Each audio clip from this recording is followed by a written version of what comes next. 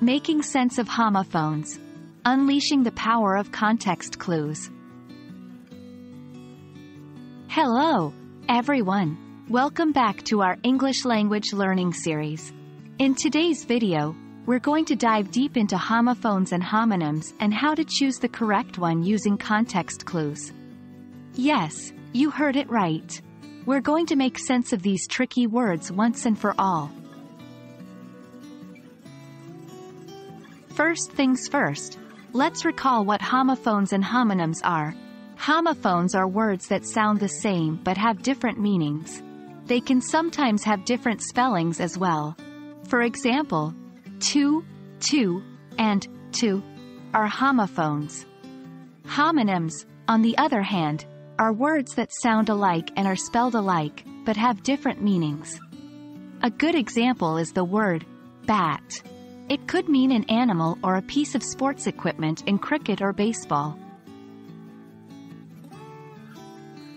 Now, what do we mean by context clues? Context clues are hints in the sentence that help you figure out the meaning of a word. When you encounter a homophone or homonym, look at the sentence around it. Is it talking about numbers, or is it referring to a direction? The answer lies in the context. For example, if you come across the sentence, he went to the store to buy two loaves of bread, the context clue is the store, which tells you that to refers to a direction.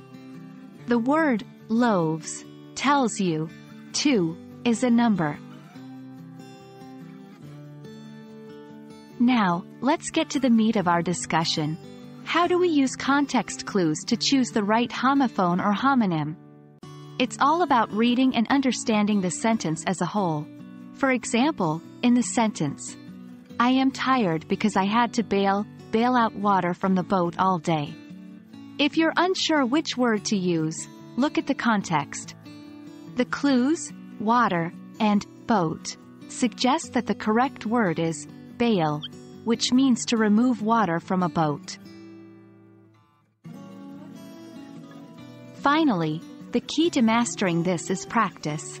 Try to read as much as you can and pay attention to the context in which words are used. Write sentences using homophones and homonyms. Ask someone to check if you've used the correct words. With practice, using context clues will become second nature to you.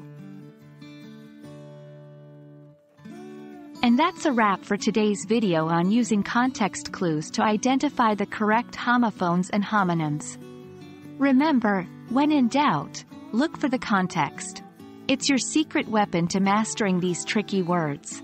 Stay tuned for more English language learning videos. Keep reading, keep learning, and until next time, happy studying.